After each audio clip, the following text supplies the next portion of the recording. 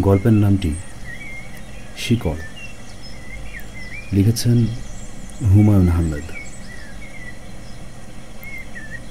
মাসের শেষ সপ্তাহে ঢাকা শহরে খাট, মিটসেফ, চেয়ার, টেবিল এবং লেপতশক বোঝাই করে কিছু ঠেলাগাড়ি চলাচল করে।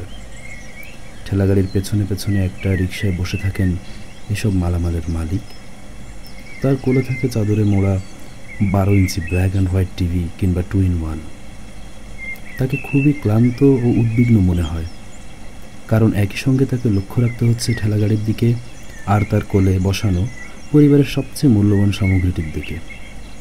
তাকে খুব অসহায়ও মনে হয়। অসহায় কারণ এই মুহূর্তে তার কোনো শিকড় নেই। শিকড় গেড়ে কোথাও বসা না পর্যন্ত তার অসহায় ভাব দূর হবে না।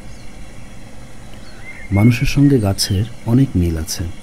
সবচেয়ে বড় মিল হলো গাছের মতো মানুষেরও শিকড় আছে। শিকড় উপড়ে ফেললে গাছের মৃত্যু হয়। মানুষেরও এক ধরনের মৃত্যু হয়।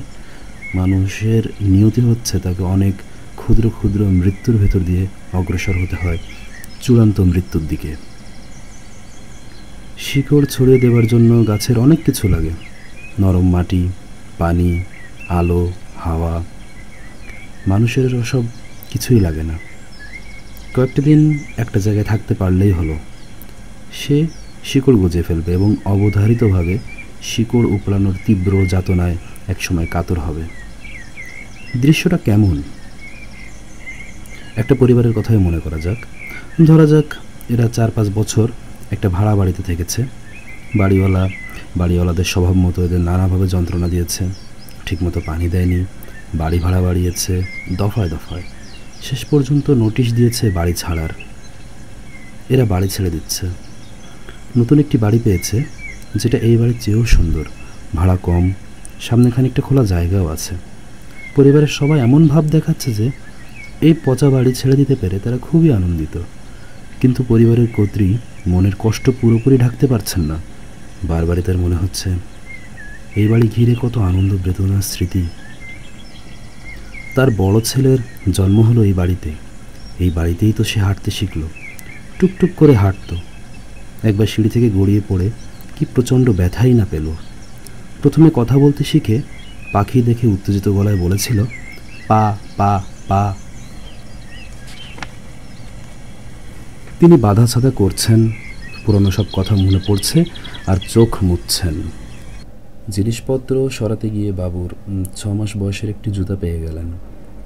বাবু বেঁচে নেই, তার জিনিসপত্র সব সরিয়ে ফেলা হয়েছে।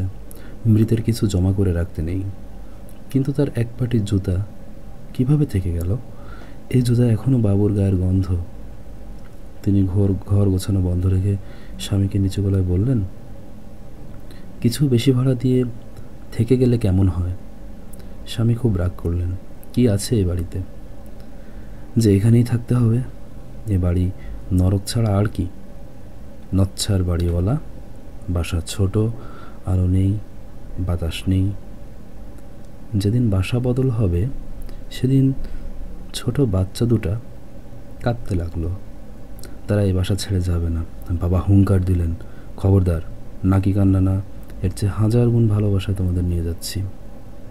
বাবা জিনিসপত্র ঠেলা গাড়িতে তুলে বাসার চাবি বাড়ি।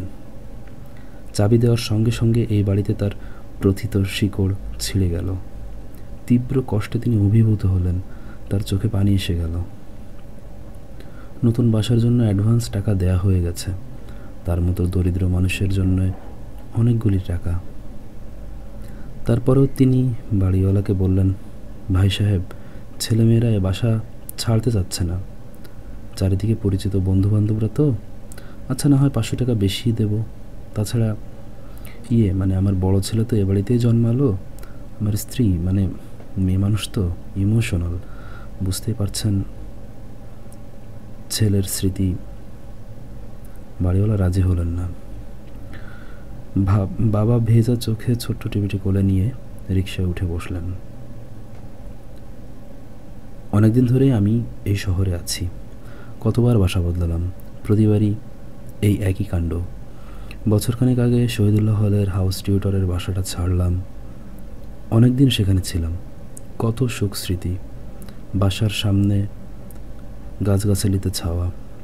বারান্দায় বসে দেখতাম সন্ধ্যা হলেই ঝাঁক বেঁধে টিয়া উড়তো।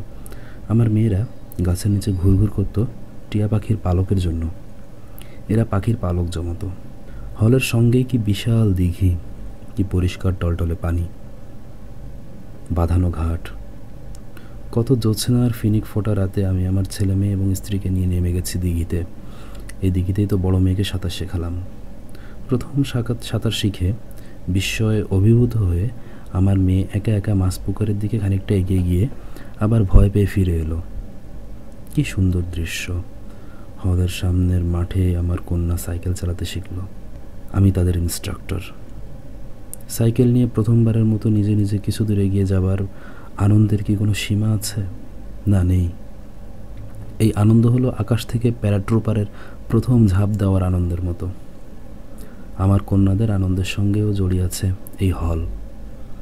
হলের বাসায় টানা বারান্দায় বসে রাত জেগে কত লেখালেখি করেছি। গুলির শব্দে মাঝে মাঝে লেখায় যেমন বাধা পড়েছে, তেমনি রকম ব্যাপারও ঘটেছে। হঠাৎ শোনা গেল বাঁশি বাজছে। কাঁচা হাতের বাজনা না, বড়ই সুন্দর হাত। লেখালেখি বন্ধ করে বাঁশি শুনছি। আমার হলের নিশিরাতের সেই বংশীবাদক জানে না, আমি কত আগ্রহ নিয়ে অপেক্ষা করতাম তার বাঁশির জন্য। সে ভালো থাকুক, তার জীবন মঙ্গলময় হোক, এই প্রার্থনা। কত আনন্দ পেয়েছি তার জন্য। সেই হল ছেড়ে দেওয়ার সময় ঘনিয়ে এলো। বহু দূরে প্রথিত এই শিকড় ছিঁড়তে হবে। কি কষ্ট কি কষ্ট। ঠিক করলাম, একদিনে হল ছেড়ে যাব না, ধীরে ধীরে যাব। প্রথম দিন হয়তো বইগুলি নেওয়া হবে, দ্বিতীয় দিনে শুধু চেয়ার, তৃতীয় দিনে ফুলের টব। এইভাবে এক মাসের পরিকল্পনা। বোঝাও যাবে না আমরা হল ছাড়ছি, করাও হলো তাই। বাচ্চাদের আগে পাঠিয়ে দেওয়া হলো। আমি এবং আমার স্ত্রী হল ছাড়লাম এক গভীর রাতে। শেষবারের মতো শূন্য ঘরে দাঁড়িয়েছি। ছোট বাচ্চাদের মতো ফুপিয়ে কাঁদছি। গুলতেকিন বলল, তোমার যখন এতই খারাপ লাগছে, তখন হল ছেড়ে দিচ্ছ কেন? থেকে যাও। থেকে যাও বললেই তো আর থেকে যাওয়া যায় না। প্রথিত শিকড় ছিঁড়তে হয়। হয়তো এই শিকড় ছেঁড়ার মধ্য দিয়েই কেউ একজন আমাদের আসল শিকড় ছেঁড়ার কথা মনে করিয়ে দেন।